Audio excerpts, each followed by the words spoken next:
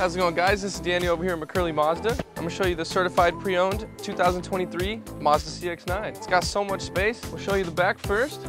Power liftgate's always nice.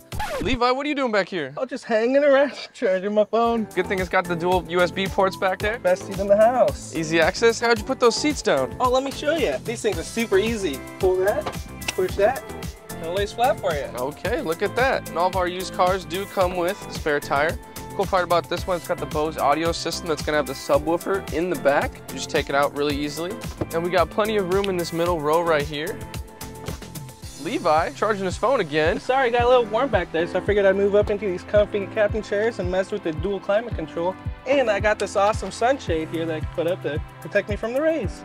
So moving up front, we got Levi up here enjoying the nice Android Auto. Yeah, I love it up here. You got the ventilated seats, which helps pull the heat away from your body instead of blowing it up. The screen's awesome because, like you said, I was messing with Android Auto, checking out the navigation on it. This screen is amazing. My favorite part about the screen actually is the 360 camera view. You can see all angles around you when you're parking, and you can even press this button a couple more times and see the, what the rears can see. Make sure you're staying in that line at all times.